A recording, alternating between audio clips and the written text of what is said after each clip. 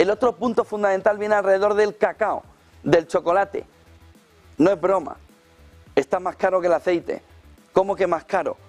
El cacao más caro que el cobre supera los 9.000 dólares. Los futuros de Nueva York suben alrededor del 60% solo en marzo, reflejando una fotografía esta mañana del 8,65% hacia arriba, 9.633 dólares en el cambio cacao dólar. En una fotografía en la que marca un camino de escasez, es la clave fundamental alrededor de lo que está sucediendo con el cacao, con el chocolate, escasez por un lado, y a raíz de ese movimiento de escasez, la fotografía clara en la que hay determinadas materias primas, bienes, tierras raras, que son la clave fundamental para el inversor para diversificar cartera.